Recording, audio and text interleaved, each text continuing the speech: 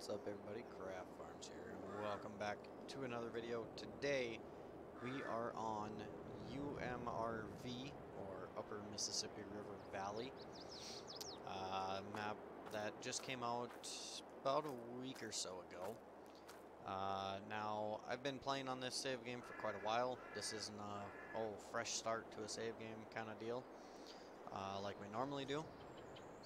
Uh, this is actually the second year on this map.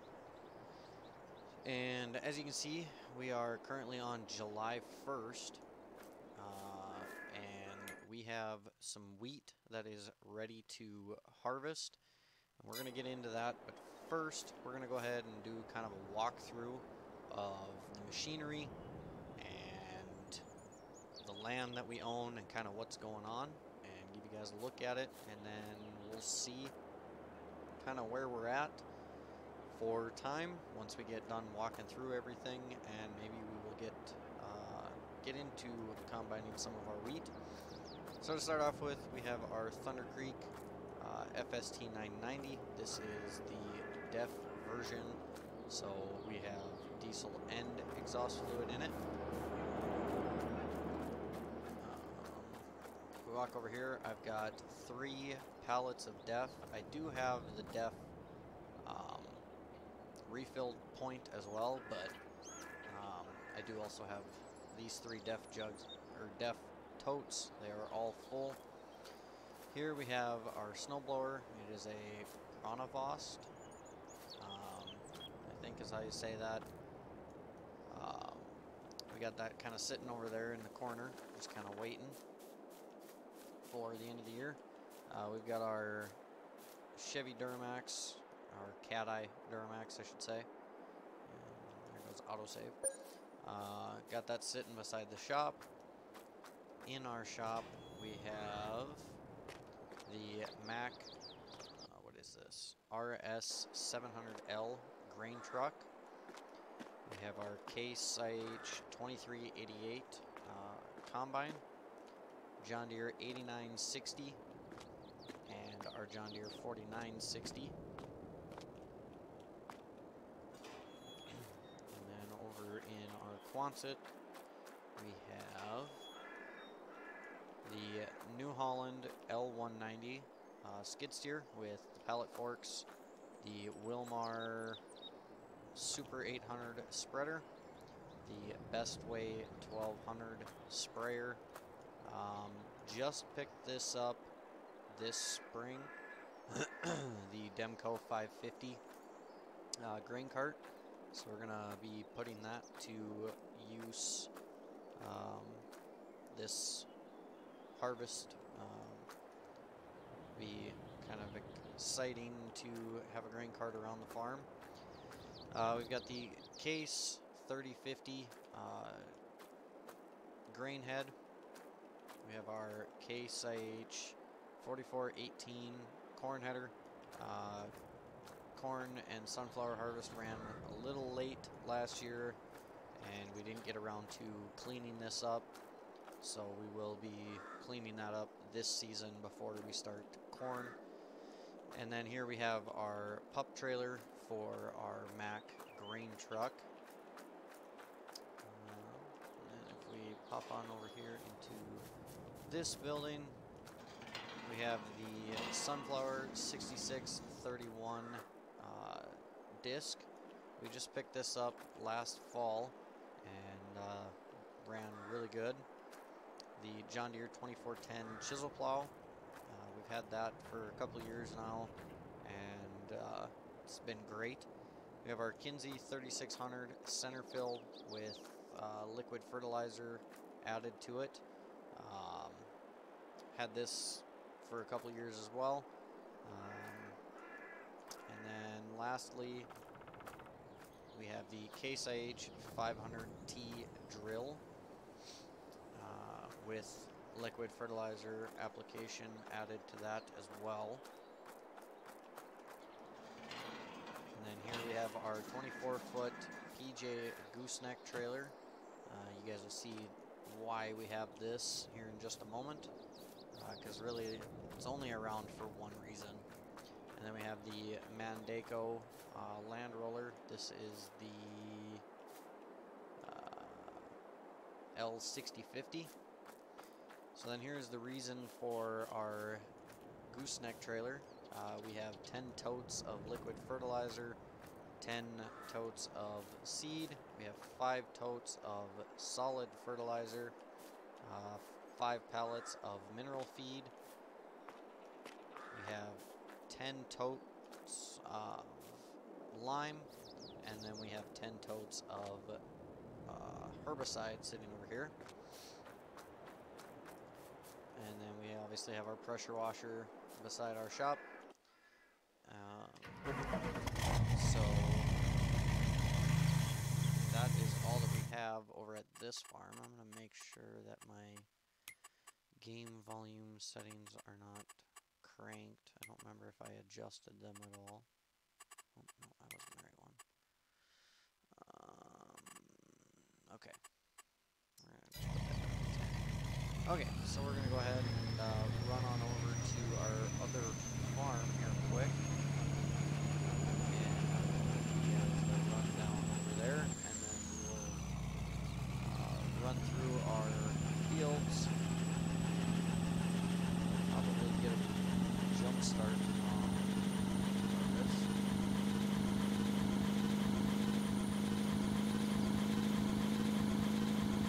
Um, I am going to be getting back into doing just the half hour videos, uh, not quite so long.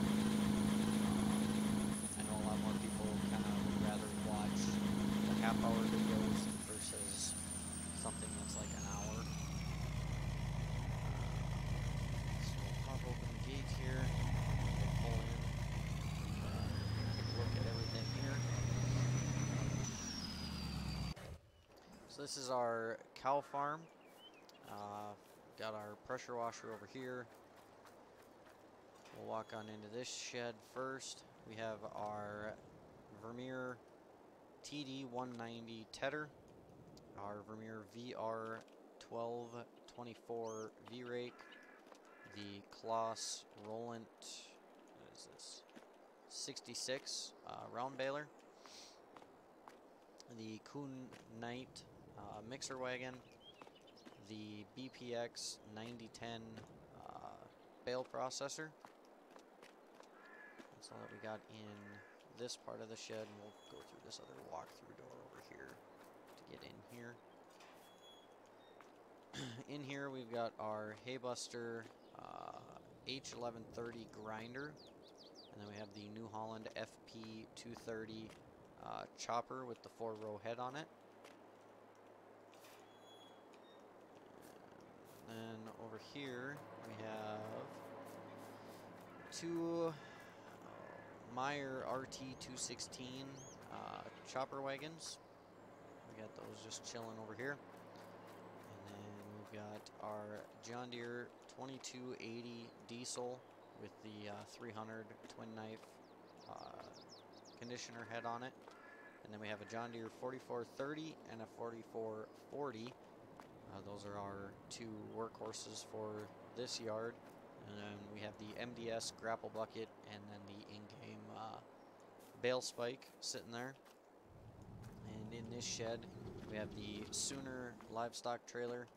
And then I don't normally use these trailers, but uh, this is the Lizard small flatbed auto load trailer. Um, I don't normally use them, but on this save game I am. Um, I did already do a cutting, um, as you can see if we pop on up here. So we have fields 31 and 30 here. Both of these are grass fields. Uh, I cut field 31 here and uh, just baled it directly uh, and turned it into grass. And then field 30 over there, I did Ted and uh, used it for hay. Um, we have quite a few bales. These are all of our grass bales. And then over here is all of our hay bales. Um, I got that stuff stacked there. And then when we combine our wheat, we will be dropping the straw and um, baling it, and then all of the straw bales are going to get stacked over here um, along that fence. Then I do have cows purchased. I have 50 of them at the moment, and I did spend quite a good bit of money. I bought TMR, silage, hay, and grass along with straw and fed them quite a lot of all of that um, just to get them going so that way I could start establishing a herd um, even though I hadn't made any food for them so I just spent a good deal of money on food and got them fed um, they are almost two years old now. Uh, they are 100% healthy and 100% productive, and uh, they are almost halfway into uh, reproducing. So, the way that I plan to be running it, um, we're going to keep kind of, we're kind of going to split up our cows. Um, excuse me, we're going to keep all of our mature cows over here. And then after they calve, we're going to haul the calves over to our other yard and keep those uh, at our main yard. So then when we feed, we'll just run back and forth. Um, and then I did put a refill silo over here as well. Now we'll run through our fields here quick. Um, so we've got field 29, 30, 31, 32, 33, 34, and 35. Uh, and then 38, 39, 43, and 46. If we pop over here, so we have wheat in 33 and 34, uh, corn in 29, 32, 35, 43, and 46.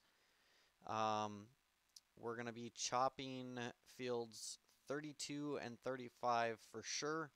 Uh, and we'll kind of see where we're at uh, for an amount of silage to determine if we're going to chop any of these other fields um, as well. But field 29 we are for sure going to be combining.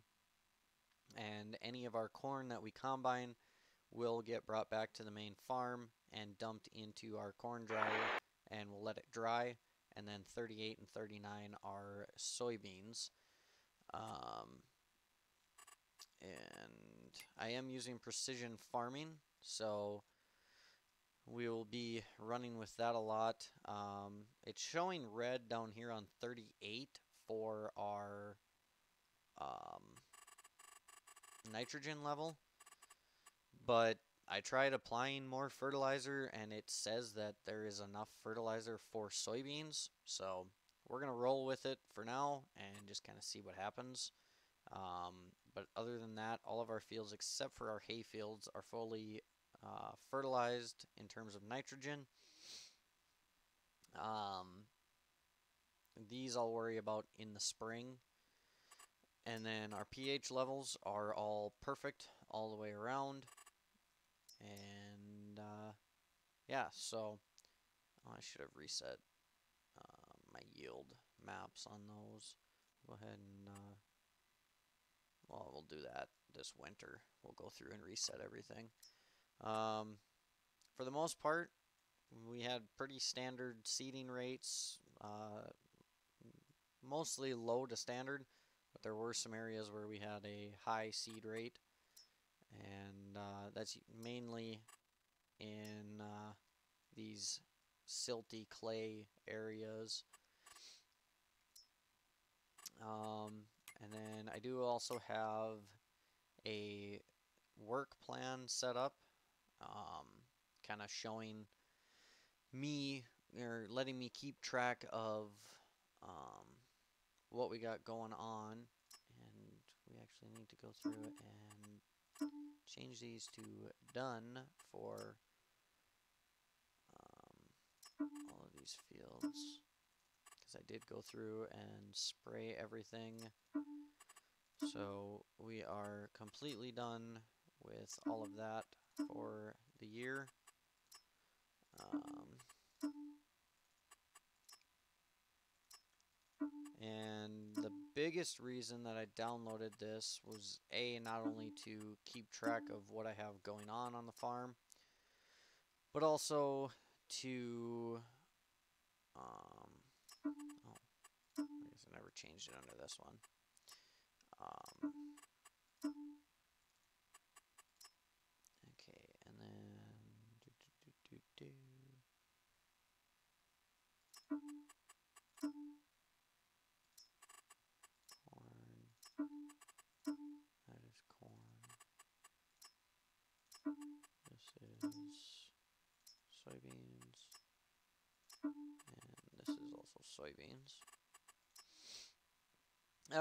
I got everything set. Um,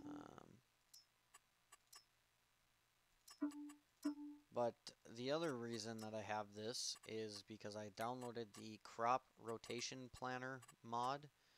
Um, and with precision farming, this helps boost uh, your uh, fields and your yields, stuff like that.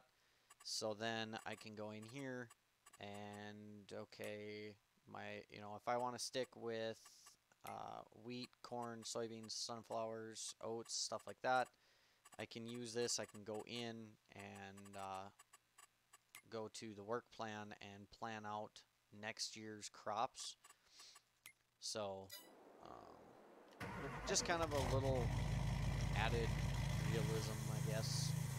Um, just another thing to kind of enhance the gameplay and uh, kind of try to make things as realistic as I can.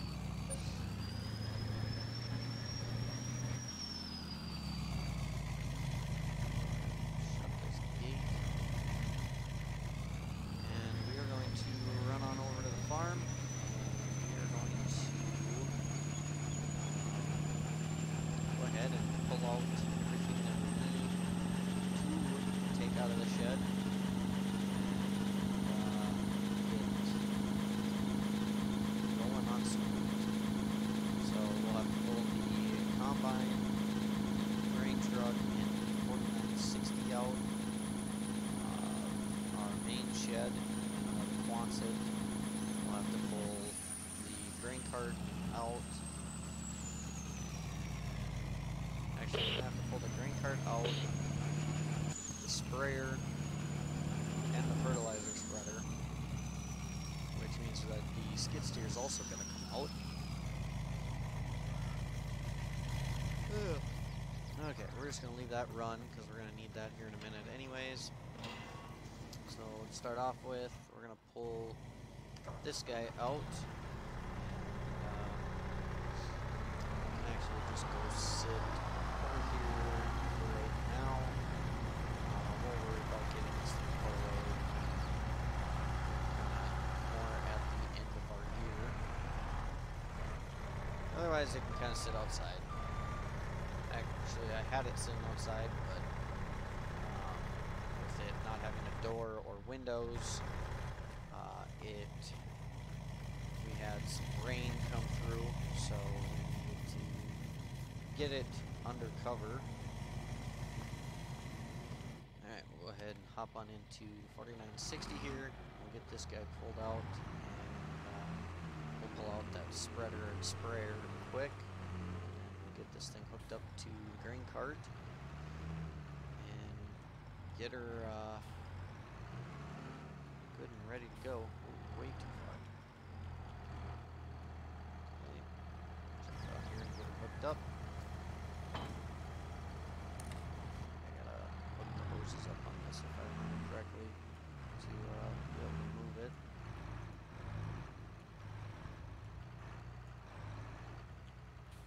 Just gonna kind of back this thing up outside of the shed. Get up right there. And we'll pull that spreader out quick. Throw it over here on the other side of the shed. And uh, we'll be good to get our grain cart and pup trailer and grain head out.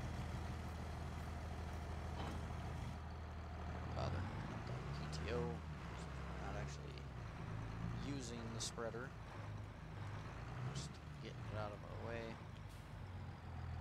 Okay. Drop that there. And then we'll get our grain cart out. And this guy's ready to roll.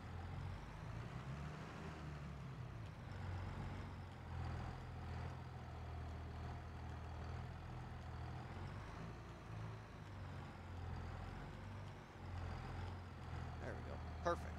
Right on the money. Okay. PTO hooked up. Hell, that was about okay. PTO and our hoses hooked up. And go ahead and get the tarp opened up as well. Perfect. It's actually a uh, quite nice setup. Okay, so that guy, that guy is ready to roll. Get in here, get this truck fired up, start this combine, let that warm up, because we have uh, started all winter long, so we haven't started since last fall. We are good built up on our air pressure,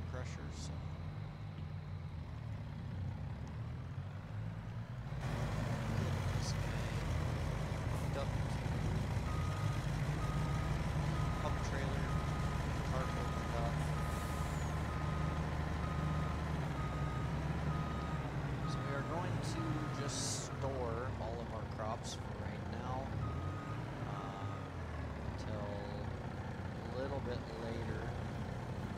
Um, go through and sell everything. Let's just check here. So for our wheat, so our dry corn is best to sell in June. The wheat we can sell in December is when it's going to be the most profitable. Um, it's actually more profitable right now than what its highest will be if we were to take it into town and go dump it one elevator in town and have a train come pick it up and haul it off to Minneapolis. Uh, we get a good deal of money for it. That's actually what I've been doing is just selling everything to the train. It's been proving to be very, very profitable lately. And uh, with the fact that it is time for some upgrades on some machinery. Start working on uh, building our equipment up. Uh, think a very profitable. Uh, we also could use some more cropland as well, so And then when uh, corn harvest time rolls around, we are going to do one pass around the fields with the combine, and uh, just to kind of get everything opened up. Uh, so that way we have plenty of room to maneuver around with our chopper boxes. Everything like that. I'm going to take this guy.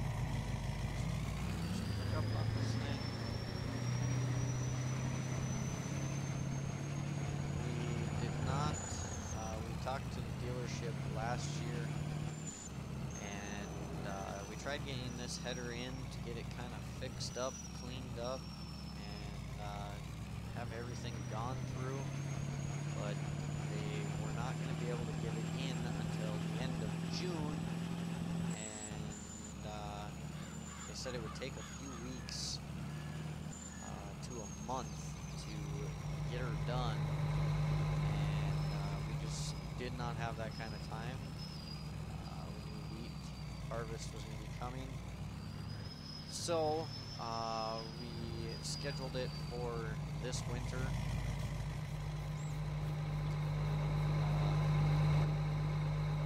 So after we are done with our soybeans, we're going to go ahead and haul it on into town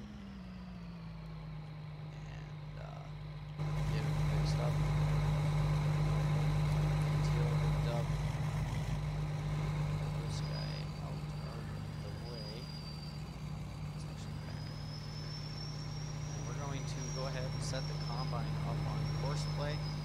That way our uh, baler can follow the track.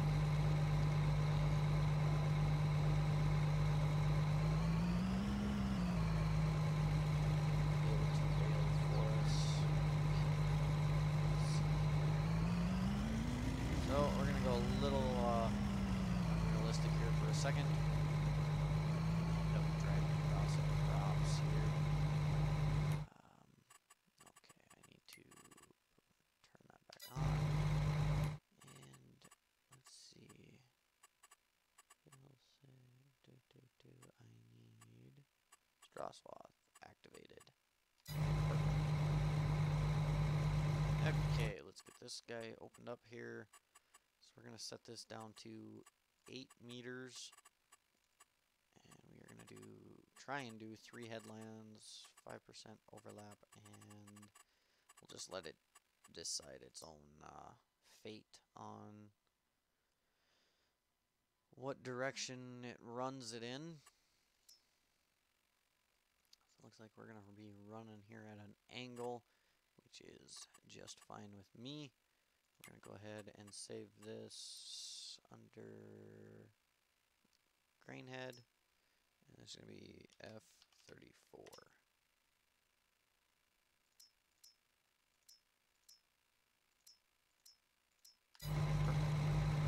Okay. Start him at the first waypoint. Anyone with a copy, come in. 10-4, I'm on it. This way looks like this is going to be a very bountiful wheat harvest. This case is flat. I'll get me. Considering he is already almost 10% full. Just barely.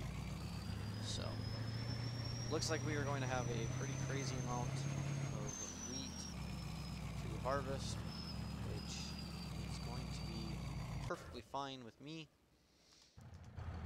We're gonna go ahead, here to the farm, and grab our grain cart so that we are ready to get that guy unloaded.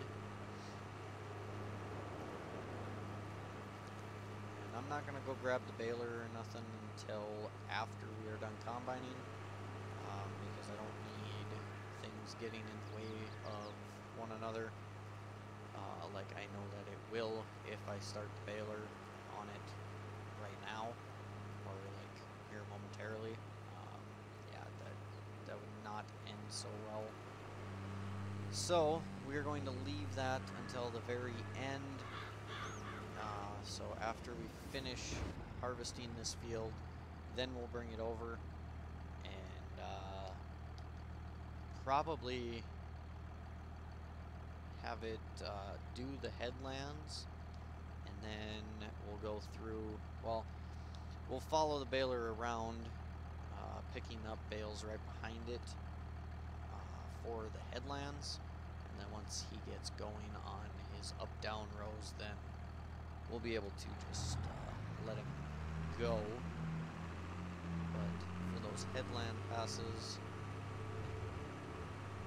we definitely want to uh, kind of follow him around and get him cleaned up so that way our baler isn't That way Courseplay's not running our baler into stuff all the time.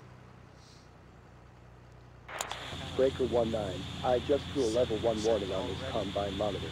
I'm This filling is up. going to be quite a good wheat harvest. Let's go ahead and take a look at what our yield map is looking like so far.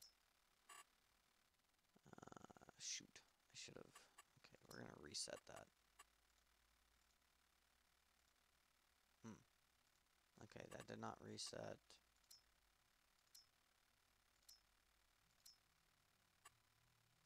Breaker, breaker, I just threw a level 2 warning on the Tattletale Wow, come back.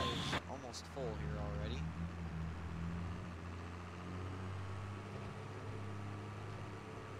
Hmm, I thought uh, resetting that would kind of reset our uh, yield values, but I guess not. Back up, move off to.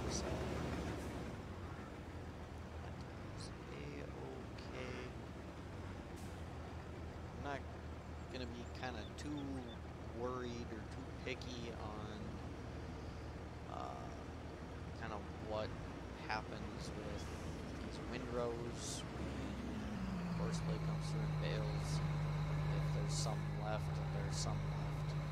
Uh, I already know that we are going to get a fairly large amount of uh, bales, so I'm not too terribly concerned with getting every last little bit, like that.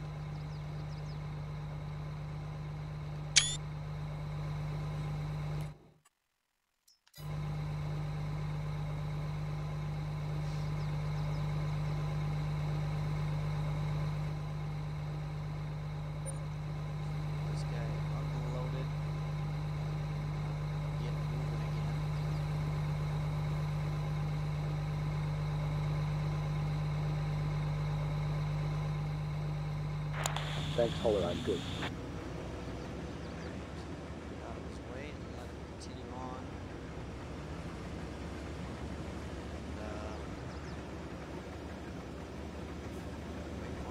up again. I think that's going to kind of do it for today's video. Uh, I'm going to let him get kind of rolling on this field here.